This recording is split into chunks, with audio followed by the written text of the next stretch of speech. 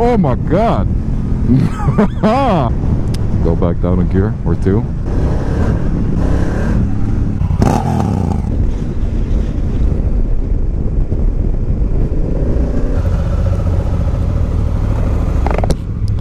So, Africa Twin, Africa Twin, the Africa Twin, the Honda Africa Twin DCT. Shifts gears for you.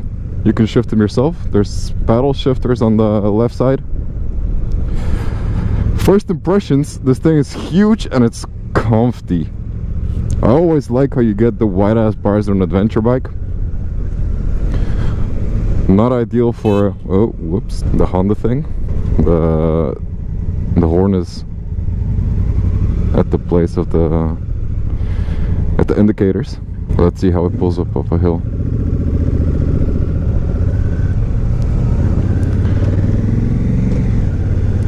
dude this is I don't feel any gear shifting happening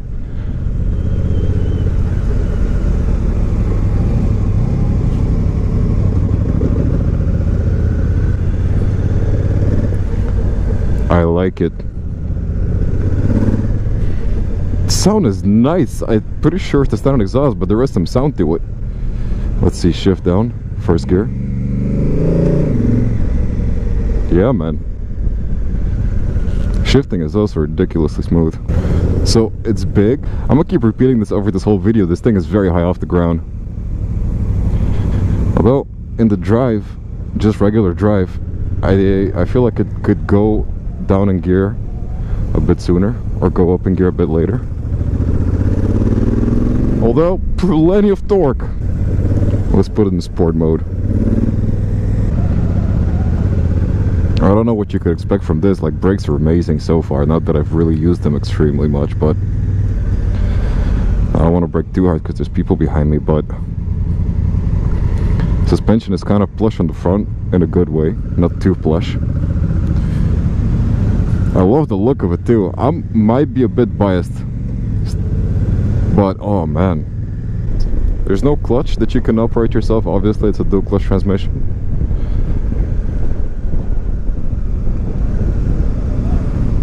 this is pretty relaxed not having to switch gears when going slow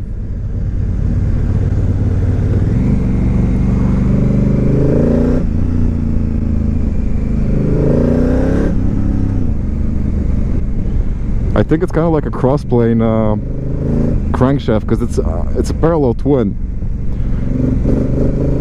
but it sounds real good. It sounds like a V-twin a little bit. Let's see sixth gear. I don't think it let, it's gonna let me go in sixth gear. Fourth gear is my limit at this point. What if I put in drive mode? Fifth gear is my limit. A bit lumpy.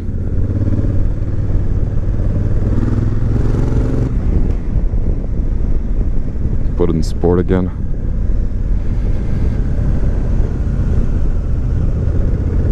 I don't feel any gear shifting happening. The most noticeable part of the gear shifting is the the engine noise. Okay, that one was a bit rough down to first. But also it's me who, who shifted it, who at least who forced the bike to shift into it. Okay, let's try 6 gear, 70 kph. A bit lumpy, but to be expected for a twin.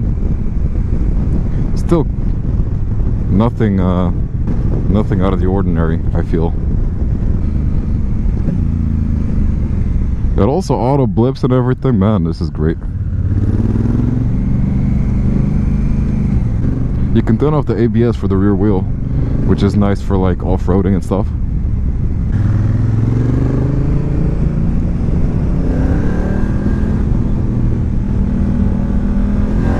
Oh my god. I think it's got about 100 horsepower, I'm not sure. Like between 90 and 100, I'm pre uh, pretty certain about it. And they do come, uh, like they, they do make their appearance at a bit of a higher RPM. Like it's really, there's plenty of torque down to be, to be had down. Like still goes. Let me put it in drive so it stays in fourth gear. Fourth gear, 60 kph. Okay, back in sport. I feel like I'm not in a good place in the pack. I don't want to switch my place because uh,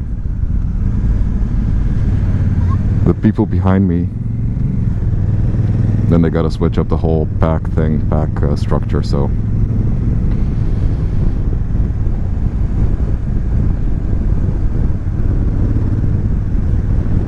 Ooh, the DCT is is great. The engine is you can feel it thumping a little bit, and that's the most feedback that you're gonna get. I mean, from like the mechanical standpoint of the whole the whole thing. When it comes to engine and uh, clutch, like shifting gears is just not noticeable. Back to fourth, third.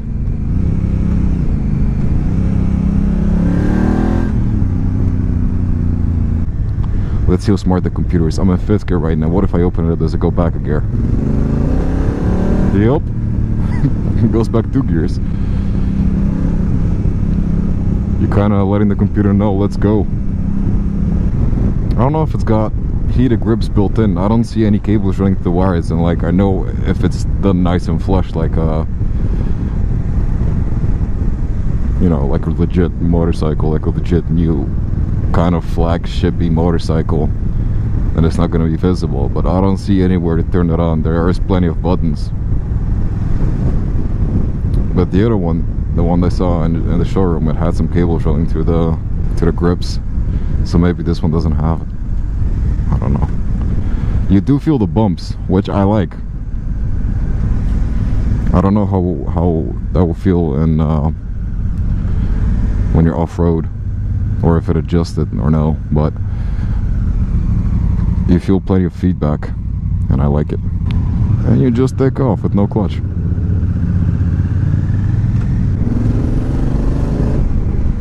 well standing up is easy. I got like there's nothing in the way of my legs to prevent me standing up so that's nice.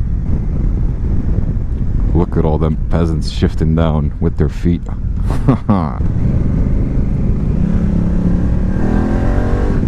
Dude the front wheel gets light. Plenty of power. The people that say like oh it's not it's not the kind of bike you should be riding. You're into sport bikes and blah blah blah. Dude if it's a good bike I'll like it no matter what kind of bike. This is a good bike and I like it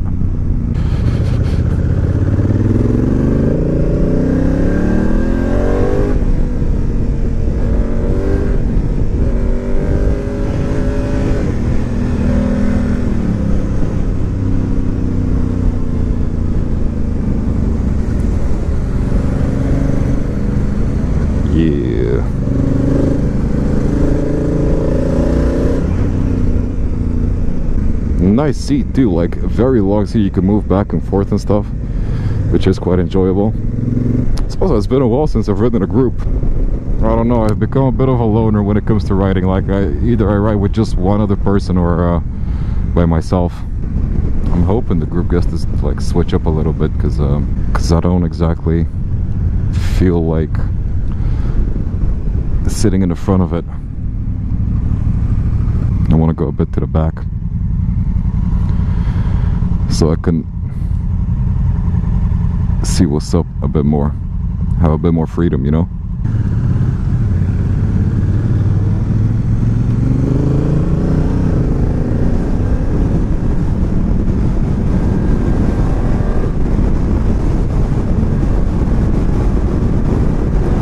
Dude, this thing picks up real nicely.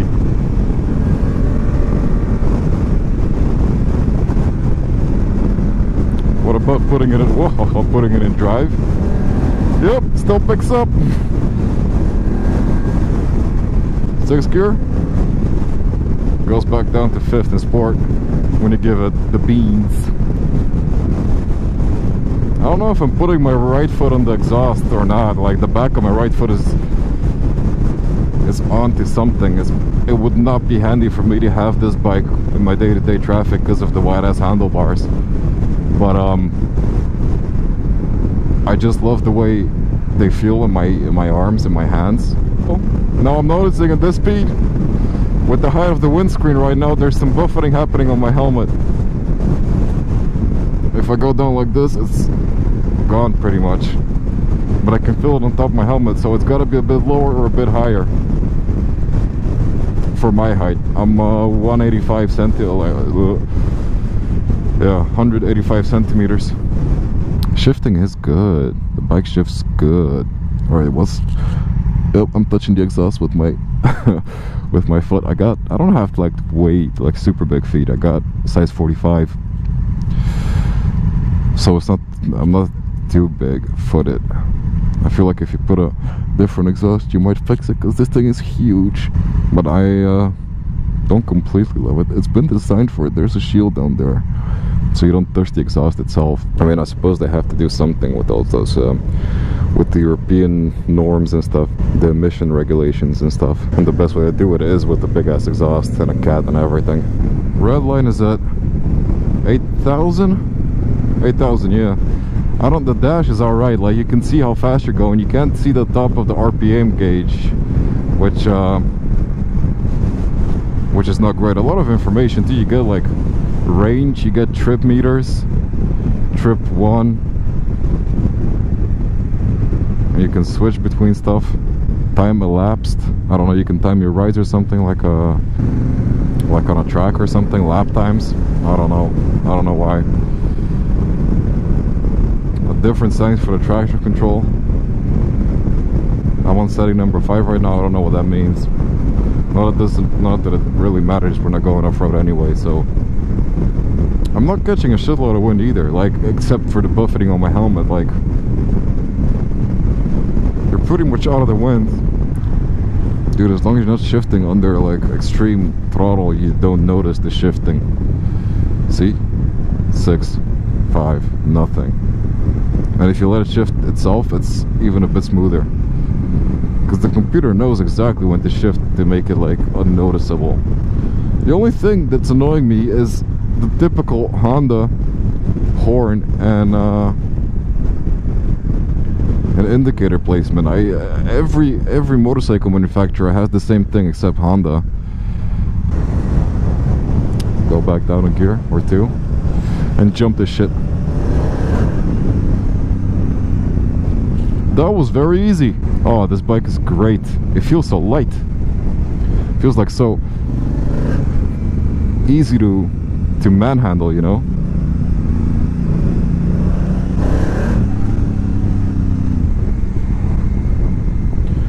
and the front wheel just picked up really easy off that bump. And it did not feel out of control or anything. It felt perfectly fine. Very confidence inspiring and everything. I reach for the clutch every now and again. Oh this thing by the way here that I, it's out of reach is they, they put it out of reach so people don't accidentally pull in the clutch and it turns out it's not a clutch it's the it's the rear brake. It's also there's a regular rear brake like a foot brake but this uh this is there for I don't know for panic situations I guess. You see something coming at you and pulling everything. Small bumps like this are you, don't really have to get up. The bike just kind of ploop ploop. You do notice them but it's not uncomfortable. I kind of like it sounds a bit like a like a beefed up MT-07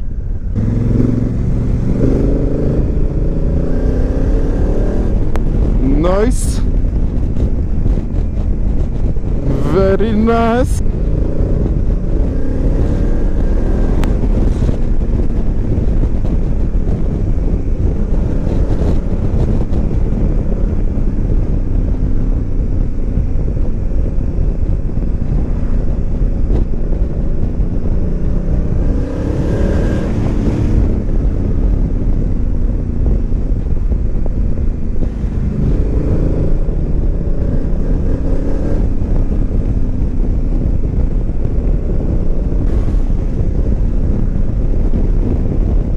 Yes, overtake me, everybody, please.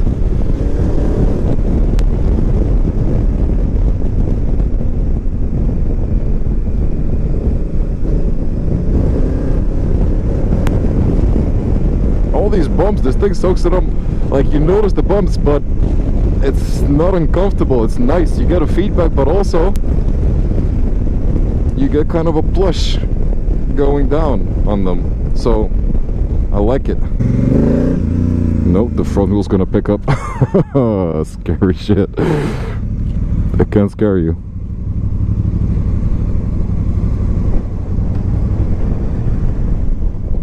Let's see what traction control does when you go off. It kicks in though. It sounds nice. Sounds real nice. Sport has multiple sport levels. There's three sport levels. And he said the second one is the one he likes the best. So I don't know which one is more aggressive. I think it goes down like in a, in aggressiveness from one, two to three. Now I'm on a medium ground, so we'll see what's up if I notice any difference.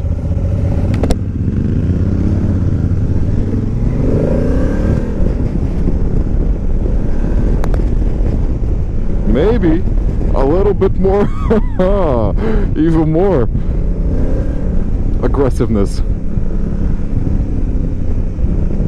stays in the gear even longer.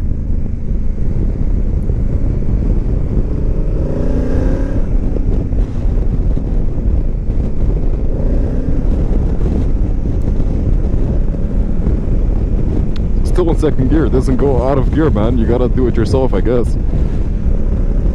I don't mind staying in second gear.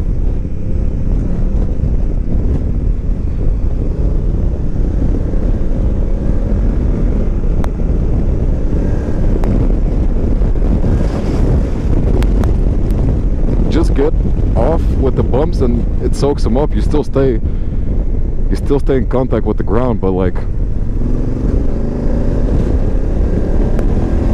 it soaks up the bumps real nice you don't you don't notice them as a person like your legs do a lot of the the dampening too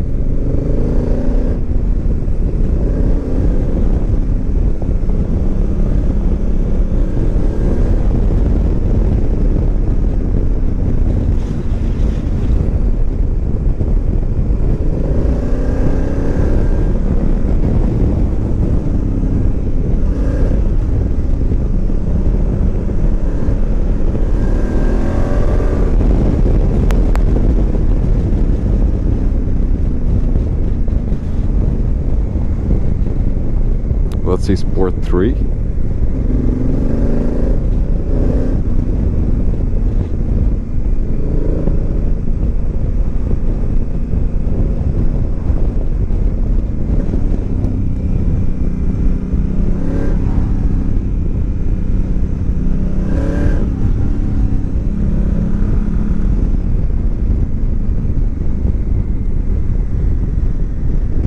all roads are just such fun bikes I keep saying it like an all road.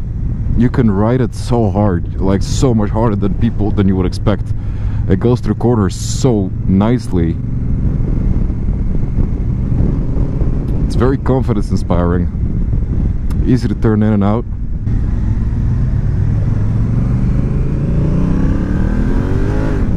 Sport one stays sport 3 I mean stays in first gear a bit too long for comfort also in second, still in second gear. Jesus! okay, you can shift up now. It's okay. See, I'm not going 70. It won't let me shift to 6 when I'm in this uh, crazy mode. Shift it to drive, and then it goes to 6th. Go back to 5th, go back to 2nd. I don't know if the fueling changes or if just if it shifts uh, later.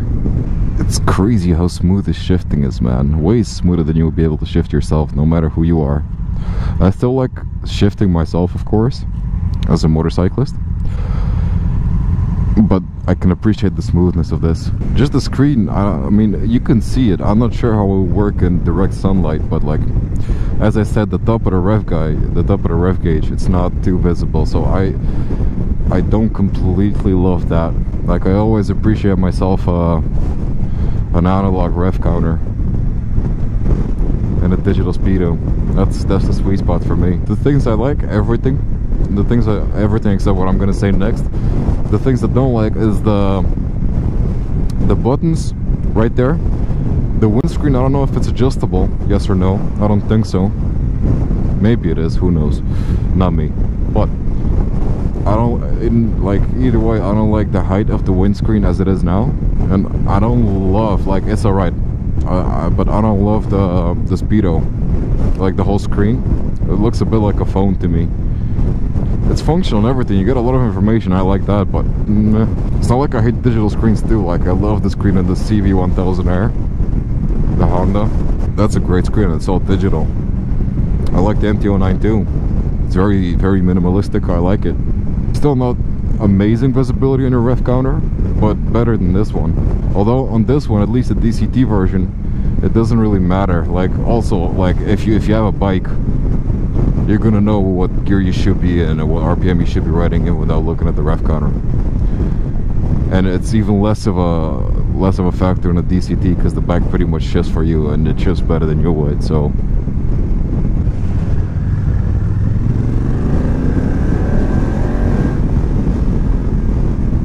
and it picks up picks up real nice. Also now when it's in the sport mode now it thinks oh shit he's booking it he's booking it. So let me just stay in second gear a bit longer. So like if he wants to go I don't have to go back and um, the third or second or whatever. Also engine braking like the thing engine brakes nicely. Despite it being automatic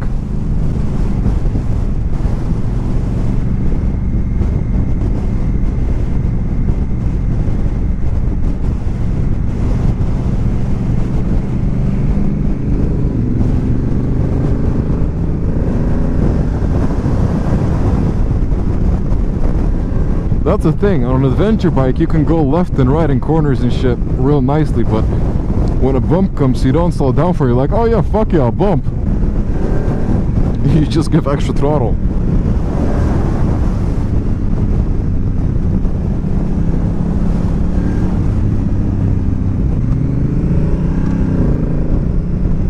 This shift to second and third gear I did not notice. Oh my god this is great the CBR CBF I don't know the 650R I think it's a CBR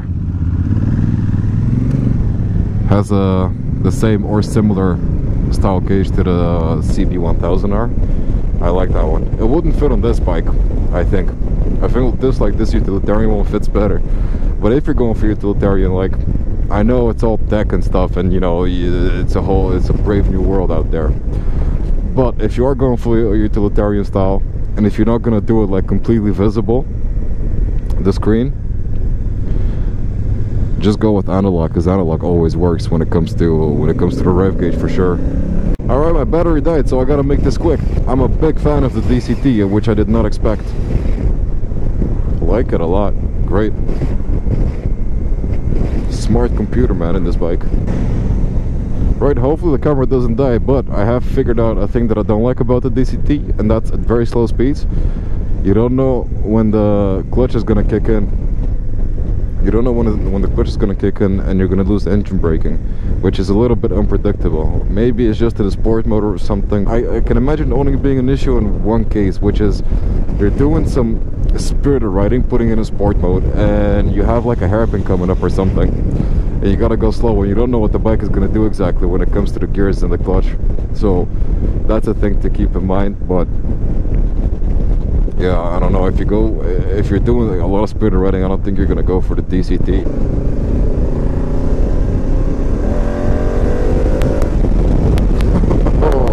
the thing I also don't like is that my right foot is restricted by the engine.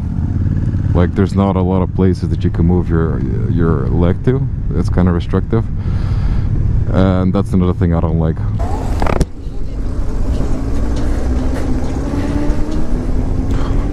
Well now this bike feels tiny.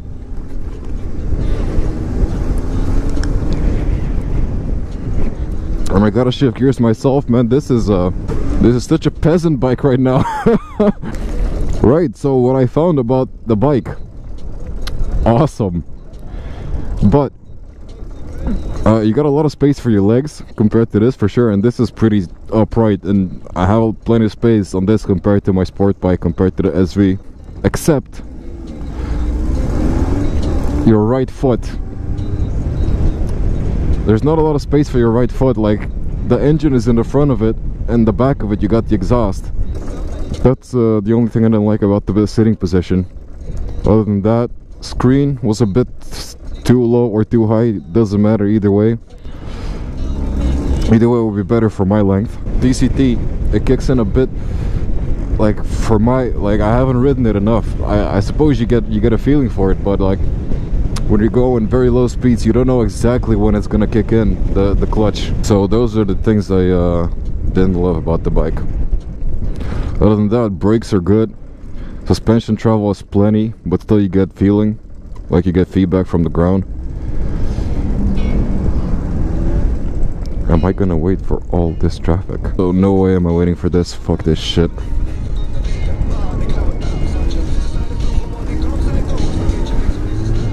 Also, you're a lot more upright on the Africa Twin. Like, on the Diversion, I'm very much upright, especially compared to the SV. I am very upright, but on that, you're just like sitting wide and even more upright. It's a very commanding position.